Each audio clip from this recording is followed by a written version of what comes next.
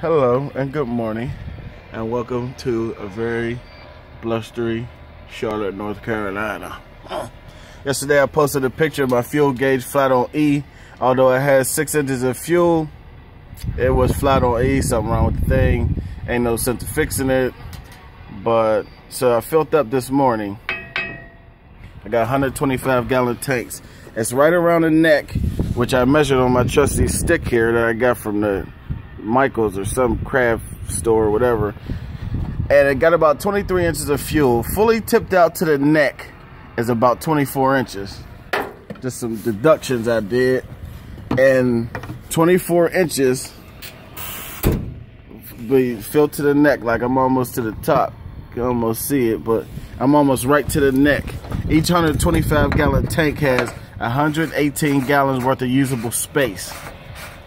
So 24, if you divide that into six, six times four, is 24. If you divide that into four parts, it comes out to be 29.5 gallons for every six inches, roughly. Now, this is just a rough estimate at 29 gallons. So, if I got six inches of fuel in my left tank and six inches in my right tank, that may equate up to 60 gallons. And I did this because my gas gauge is broken. Once it get to an eighth of tank, it goes flat. So at six inches, I got about about 29.5 gallons of fuel in each tank.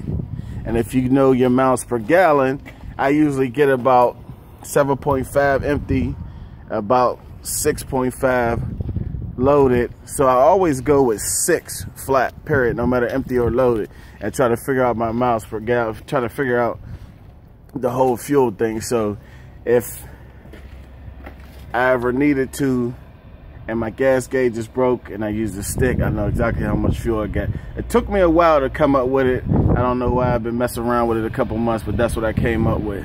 It's very simple. It works. It's not a perfect uh, equation. But if you need to do it, it'll work. I looked everywhere. I couldn't find nothing that'll tell me how much six inches of fuel was in the tank or blase blah 150. But I figured this method out. It works. I figured I'd share it with y'all. Go Patriots.